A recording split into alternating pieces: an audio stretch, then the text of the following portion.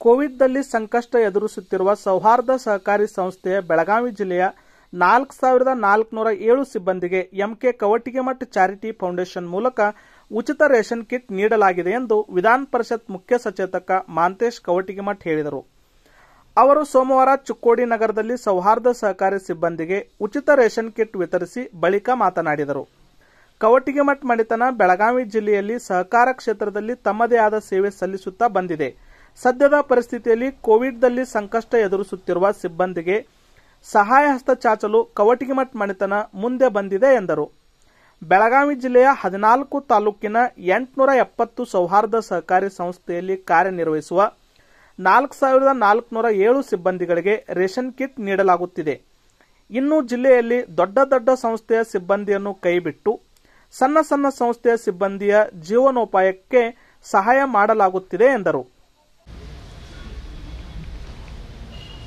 ಅವರ ಜೀವನೋಪಾಯಕ್ಕಾಗಿ ರೇಷನನ್ನು ಕೊಡಬೇಕು ಅಂತಕ್ಕಂಥ ಒಂದು ಉದ್ದೇಶದಿಂದ ಕೌಟಿಗಿಮಠ್ ಕುಟುಂಬದ ಪರವಾಗಿ ಬೆಳಗಾವಿ ಜಿಲ್ಲೆಯಲ್ಲಿರ್ತಕ್ಕಂಥ ಸುಮಾರು ಹದಿನಾಲ್ಕು, ಹದಿನಾರು ತಾಲೂಕುಗಳಲ್ಲಿ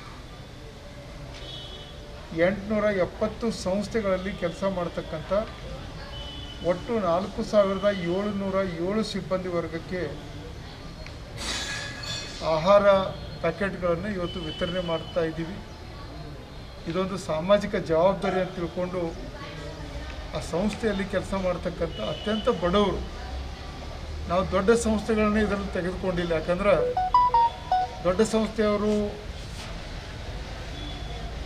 ತಮ್ಮ ತಮ್ಮ ಬ್ರ್ಯಾಂಚ್ ಇಟ್ಕೊಂಡಿರ್ತಾರೆ, ಅಲ್ಲಿ ಆರ್ಥಿಕವಾಗಿ ಸಬಲರಾಗಿರ್ತಾರೆ. ಈಗ ಒಂದೊಂದು, ಒಂದೇ ಬ್ರ್ಯಾಂಚ್ ಇಟ್ಟಿರ್ತಕ್ಕಂಥ ಸಣ್ಣ ಸಂಸ್ಥೆಗಳು, ಆ ಗ್ರಾಮೀಣ ಭಾಗದಲ್ಲಿರ್ತಕ್ಕಂಥ ಸಂಸ್ಥೆಗಳಿಗೆ ಅಲ್ಲಿರ್ತಕ್ಕಂಥ ಸಿಬ್ಬಂದಿಗಳನ್ನು ಯಾರು ಆರ್ಥಿಕವಾಗಿ ಬಡವರಿದ್ದಾರೆ. ಅಂಥವ್ರನ್ನ ಆಯ್ಕೆ ಮಾಡಿ, ಅಂಥ ಬಡವರಿಗೆ ಈ ಒಂದು ಆರ್ಥಿಕ ಸಹಾಯ ಹಸ್ತವನ್ನು ಮಾಡ್ತಕ್ಕಂಥ ಕೆಲಸವನ್ನು ಇವತ್ತು ಮಾಡ, ಕರ್ನಾಟಕ ಸರ್ಕಾರದ ಮುಖ್ಯಮಂತ್ರಿಗಳಾದ ಸನ್ಮಾನ್ಯ ಯಡಿಯೂರಪ್ಪನವರು ಗ್ರಾಮ ಪಂಚಾಯಿತಿ ಸದಸ್ಯರಿಗೂ ಸಹಿತ ಕೊರೋನಾ ವಾರಿಯರ್ಸ್ನಲ್ಲಿ ಇರ್ತಕ್ಕಂಥ ಏನು ವ್ಯಾಕ್ಸಿನನ್ನು ಕೊಡಬೇಕು ಅಂತಕ್ಕಂಥ ಪ್ರ, ವಿಶೇಷ ಆದೇಶವನ್ನು ಮುಖ್ಯಮಂತ್ರಿಗಳು ಮಾಡಿದ್ದಾರೆ.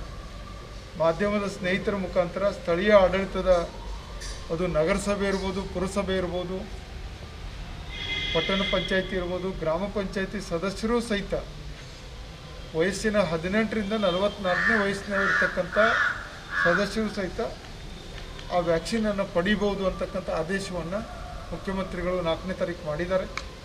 ಅದರ ಸದುಪಯೋಗವನ್ನು ಕೊರೋನಾ ವಾರಿಯರ್ಸ್ ಆಗಿ ಗೌರವಾನ್ವಿತ ಗ್ರಾಮ ಪಂಚಾಯಿತಿ ಸದಸ್ಯರು ಪಡೆದುಕೊಳ್ಬೇಕು.